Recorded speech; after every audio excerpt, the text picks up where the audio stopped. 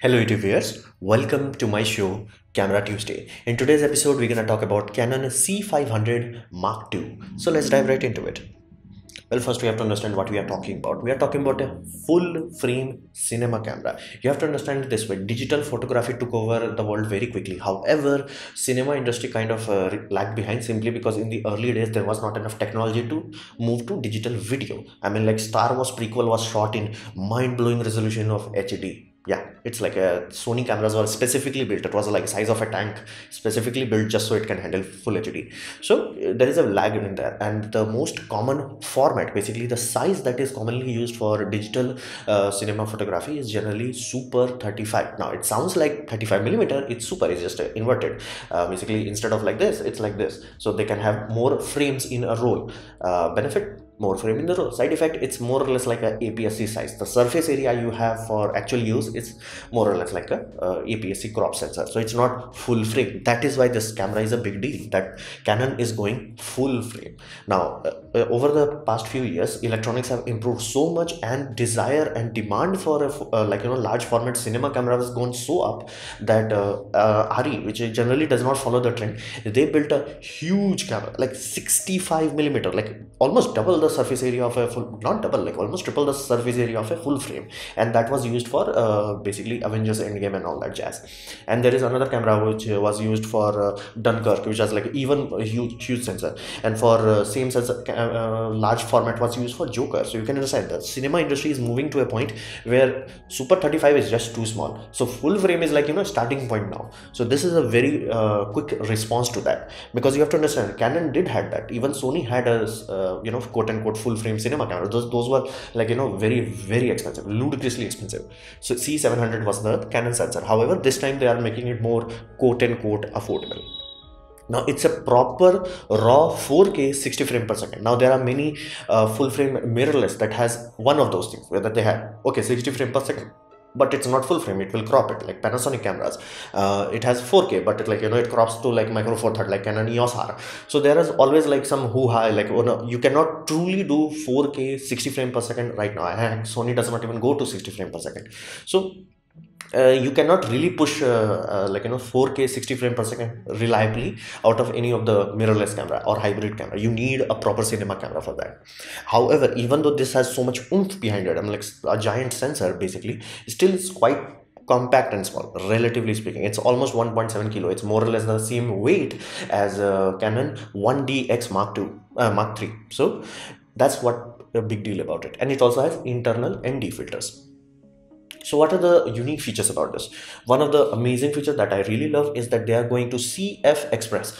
Now, if you're confused by what is this CF Express, XQD, think of it this way. Uh, Compact fast cards did not sell as successfully. Sony's XQD card did not sell as uh, successfully as they both expected. So they both joined forces. So Sony gave the physical standard, aka XQD card, and uh, Compact Flash Association standardized the rules and regulation, basically protocols and all that jazz. So you got CFast Express now why cfast express is a big deal is simply because it goes changes the protocol itself.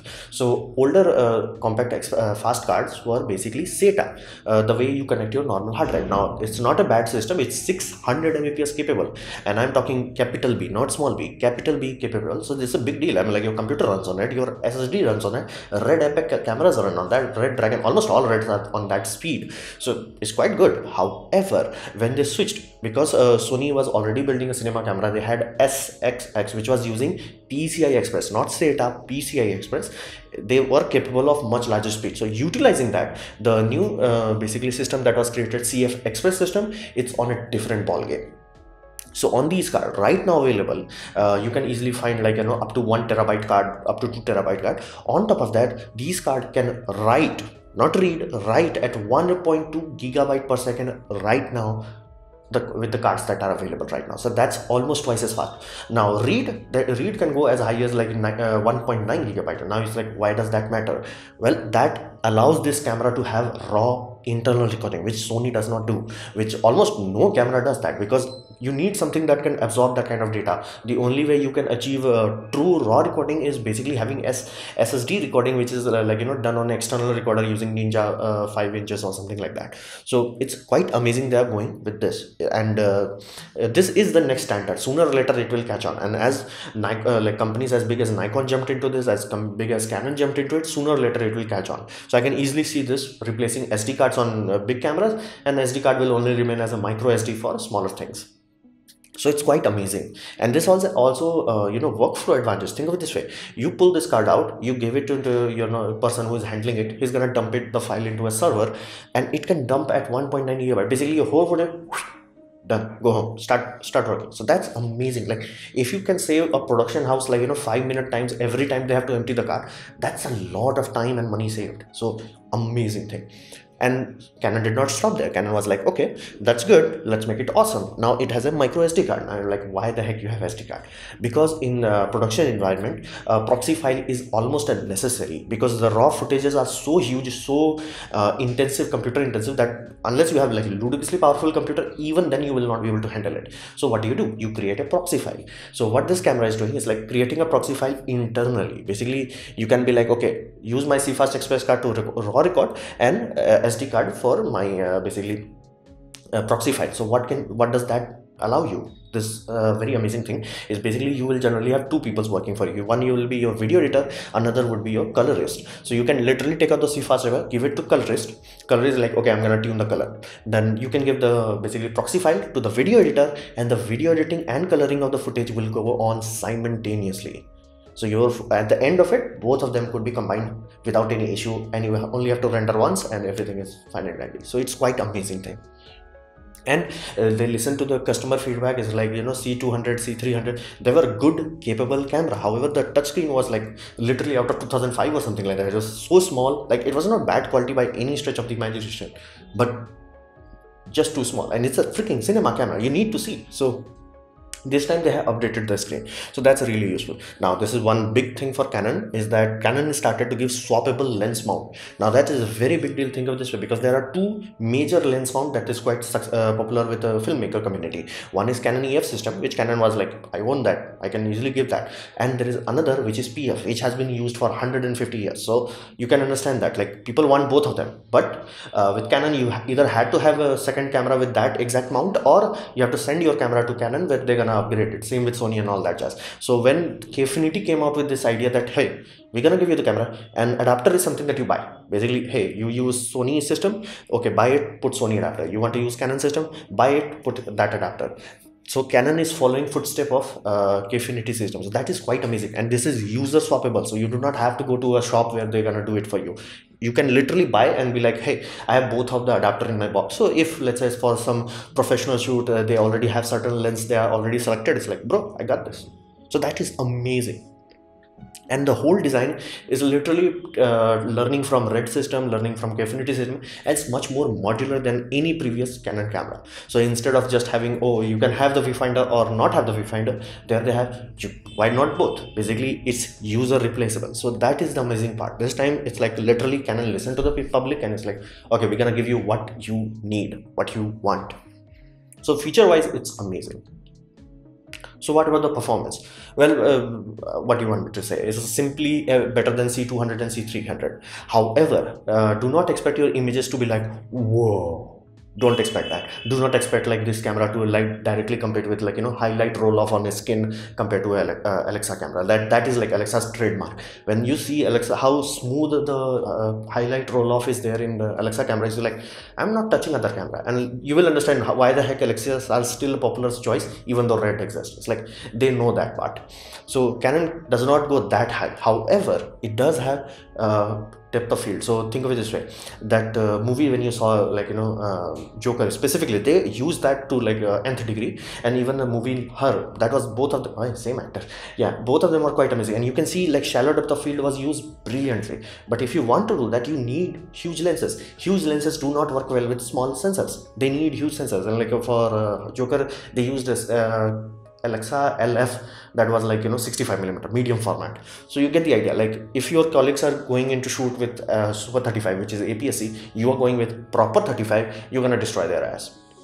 So it is very amazing like that benefit that alone hey my canon lenses is now you know flexing its muscle now i'm getting that feel the light everything you're gonna love it then the true aspect is it's 5.9k why 5.9k why not 6k again 6k is a useless standard because if you crop it down basically scale it down it does not go 1 to 4 you always need 1 to 4 for proper uh, what we call noise reduction. Basically you can drop 8 to 4 no problem because per pixel will mapped into uh, you know 4 pixels. So it's quite amazing. But if you do 6 it's not 1 to 1 ratio compression so it does not work that well. You still get some resolution boost but it's not that great. And uh, the sensor i don't think they had the yield that matched to uh, basically 6k and again it's not that much of a big deal. So you can utilize 6.9k in two ways. One you take the same footage and use like you know extract detail out of it or you can use that as a pan tilt system. Basically that gives you flexibility which you can utilize for image stabilization now another aspect it goes up to 120 frame per second. Now sony cameras can also do that. I'm talking cinema cameras.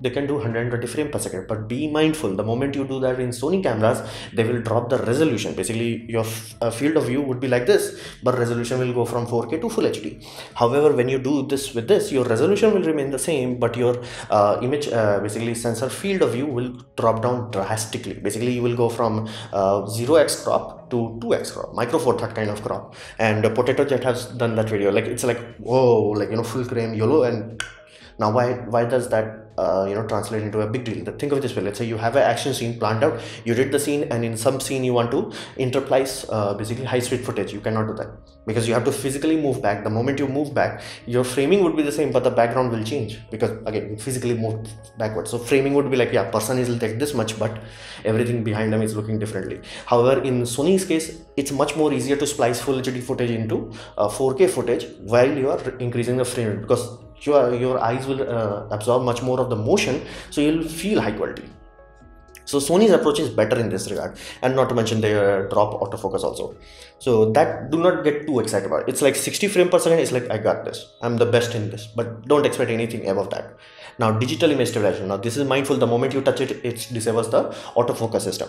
Uh, autofocus i'm saying. Uh, basically canon raw. You cannot get 12 bit footage out of it if you do uh, digital image stabilization. And the image stabilization is it's good but not great and that is the reason why that 5.9k is important. The moment you do that 5.9 will disappear. Only 4k option will be there. So you can either rely on the camera's algorithm to do uh, image stabilization or you can shoot raw direct raw get all the color latitude 12 bit hoo-ha and then crop in the post production so if you trust your production pro production post production rely on them. If you don't rely on the camera.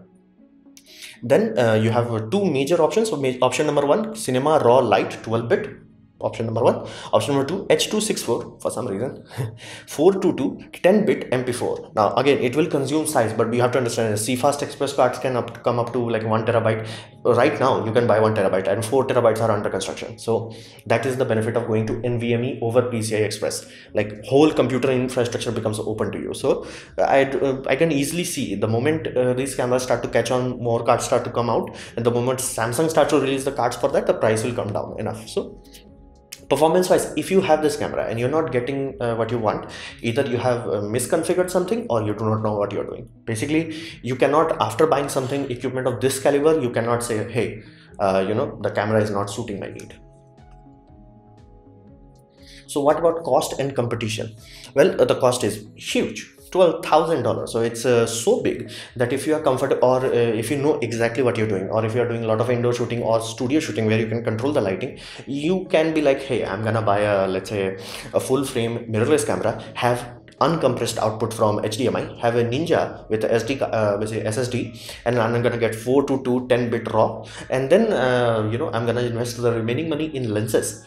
You can get very close to this, however, not like you know you you can still be limited to 12 stops of dynamic range but this puppy goes to 15 stops. Now is that a big deal? In controlled light no. But in uncontrolled light basically think of this you're shooting outdoors and randomly clouds started to come in and you have to match the exposure uh, most camera will uh, you know become useless. This puppy is like i got this. That is the reason why people invest in cinema camera. That is the you know one usp of cinema's camera. It's like i got this.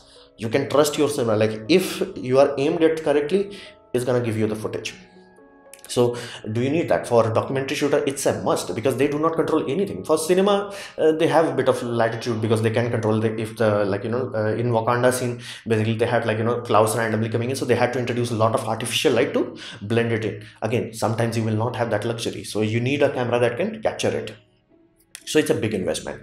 Uh, for lightweight workload no. But for uh, medium workload this is kind of investment a bearable investment. Now what about any other alternate so alternate wise you have sony fx9 now fx9 is a successor to fs7 which was surprisingly successful with tv industry and netflix uh, tv shows. Basically surprisingly a lot amount of them directly bought them. So those people are just jumping into this. They are not even considering about uh, basically canon system. Again you have the system you know how this works you can utilize this. Now it has some pros some cons obviously sometimes and it's bigger. That is one thing i cannot uh, basically uh, that is absolute. If you need small camera do not even think about this. But if you are comfortable with like a not having or internal raw you can uh, basically look into sony. And that is why the sony is still stuck at xqd even though that is their own format. They may release a firmware uh, update in the future same way nikon did that. Um, they may release a firmware update where this puppy can also accept uh, compact flash express card. That would be amazing. But right now uh, it's it has some unique advantages that will make it uh, more uh, basically palatable but not that many. Then you come to Kinefinity uh, MAVO LF which is like $2000 cheaper. And they when they are releasing like you know multiple lens mount option where you can have uh, if you are buying a smaller sensor camera you can get a speed booster integrated into the adapter. Or you can be like hey I'm gonna like uh, I have Sony lenses. This puppy allows you Sony. You have PF lenses. It allows you PF lenses. It allows Canon lenses. So that is the amazing benefit of that uh, Kinefinity system a lot of lens selections. So it has amazing thing but does not have dual card system. Both of them have dual card slot. This does not have that. Now what about panasonic sh1 uh, quite amazing uh, quite limiting in weird ways like uh, random crops and uh, other hoo-ha. But if you can move around that the biggest issue with this system is does not have that much lens selection. So competition what is in like uh, the three main competitors there basically uh, sony canon and uh, Kinefinity. so again now Kinefinity is one usp one unique selling point that it's genuinely awesome. It can go as high as 100 frame per second without any crop. So if you're doing uh, if you truly have to do like you know a lot of high speed footage that is one unique unique selling point. So competition wise uh, you know each of them like sony has some uh, like specifically one feature people love like specifically documentary shooter is like it's a variable nd filter. Like once they use it they're like yeah i'm not going back to internal khatang khatang nd filters. I'm like give me this. So for many people that alone that alone is like yeah i'm buying this. I don't care about it. And autofocus is becoming good enough. But this puppy does not have autofocus. And there are other people who's like autofocus what is that? So it's up to you so as of now, I'm very happy with Canon because this time they really seems like, oh, they are listening to the public. They are learning from their competitor. They are doing quite many things right. So this was my presentation on uh, Canon EOS C500 uh, Mark II. I hope you liked it, learned from it. In that case, please click the like button, share it amongst your friends. That will help me a lot. If you didn't like it, didn't enjoy it, I urge you to press dislike, press twice to show me your extra disappointment. Please leave a comment because I reply to all of them. Subscribe, press the bell icon if you're free. And as always, thanks for watching.